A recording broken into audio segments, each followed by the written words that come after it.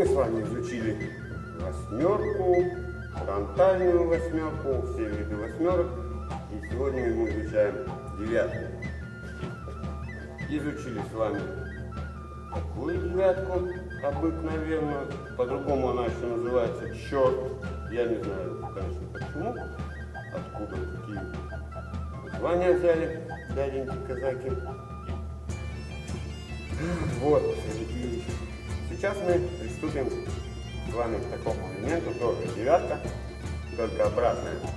Она делается не так, не в направлении от себя, как вот так, вот, а она делается в обратном направлении на себя.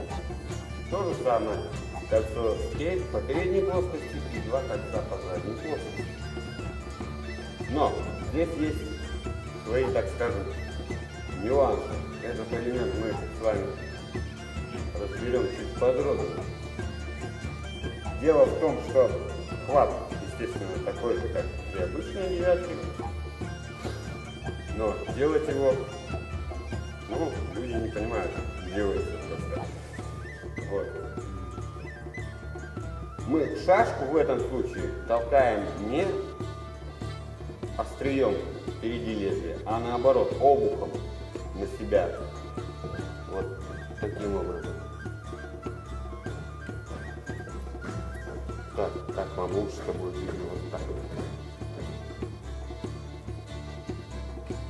И локоть у нас должен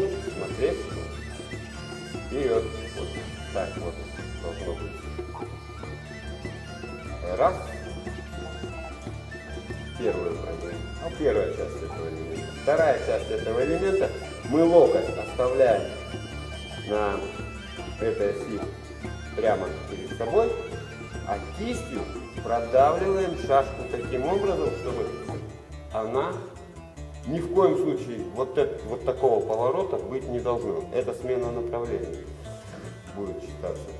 И просто элемент будет смотреться уже не так красиво. Мы кистью за рукоять продавливаем шашку таким образом, что она у нас как бы скользит по спине. Руку нужно будет вывернуть вот так. Для кого-то, может быть, это будет сложновато, но это получится. И здесь мы уже перевели на заднюю плоскость шашку, и здесь мы уже раз кольцо, два кольца вышли. Опять перешли на переднюю плоскость. То же самое зацепили. Раз кольцо, два кольца. Опять зашли. Раз кольцо, два кольца. Он выглядит элементом в принципе эффективно. Но некоторые почему-то люди после вот этого они просто вот так переворачивают и доделывают. Это никак, это не котируется. Ну нельзя так делать. Шашка, повторяю, должна зайти, локоть вперед смотрит, кистью продавливаем, локоть оставляем, стараемся на месте, и шашка проходит у нас вдоль спины, раз, два, раз, два, раз, два, раз, два, раз, два. И то же самое на левой руке. Раз, два. Раз, два. Раз, два. Раз, два.